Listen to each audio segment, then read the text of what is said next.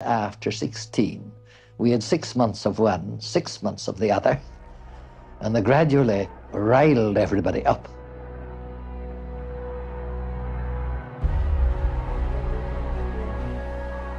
Late in 1916, most of the interned prisoners are set free.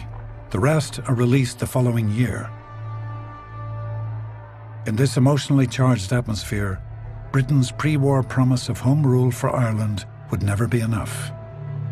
Only full self-determination will suffice. The guarantee of civil liberty, equal rights and opportunities, and the right to pursue the happiness and prosperity of the whole nation, just as the proclamation of 1916 declared. What Irish people are saying is five days of violence seems to have been more effective than several decades of constitutional agitation at Westminster. The parliamentary election of 1918 brings a landslide victory for Sinn Féin, which rejects Home Rule in favour of a more uncompromising form of nationalism. One third of the newly elected Sinn Féin representatives had fought in the 1916 Rising including rebel leader Eamon de Valera, who wins a seat in East Clare. Significantly, this is the first time in Irish history that women are given the right to vote. In the north, Ulster Unionists are by far the most successful party, adding to the growing tension between Unionists and Nationalists in Ireland.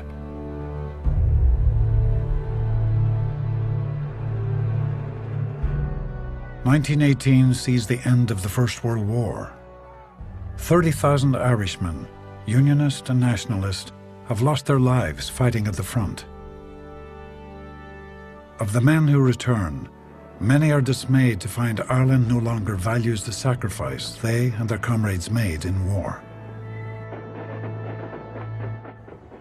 In the north, over 16,000 former servicemen joined the Ulster Special Constabulary an armed police force raised for counterinsurgency. In the south, thousands joined the Irish Volunteers, now renamed the Irish Republican Army, or IRA.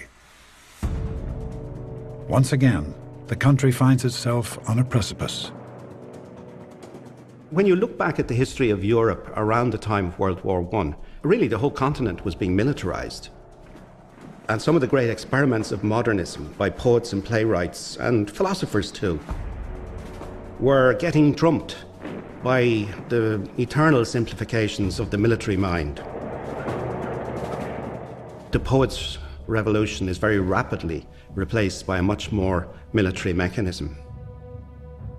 One of the great might have beens about 1916 is how different the Ireland that succeeded 1916 would have been if cultural revolutionaries who were executed in it, like Pearse, like MacDonagh, like Plunkett, like Casement, had lived.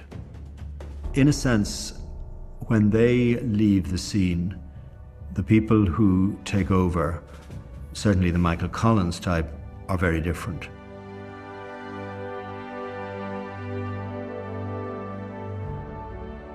The newly victorious Sinn Féin refused to take their seats in Westminster.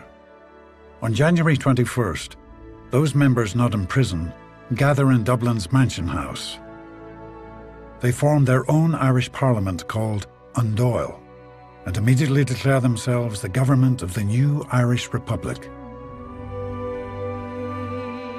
After centuries of struggle and discontent, the Irish people have democratically voted for the right to govern themselves.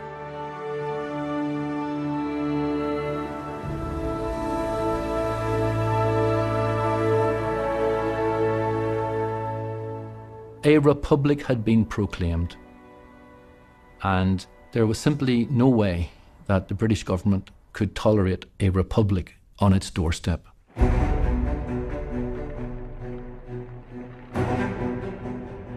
On the same day as the first meeting of the Dáil, fighting erupts in County Tipperary, southwest of Dublin. The IRA, led by Michael Collins, embarks on what would become a three-year war of independence against the British. His ruthless guerrilla tactics are influenced by the failures of the 1916 Rising and succeed in giving the rebels the upper hand against the British.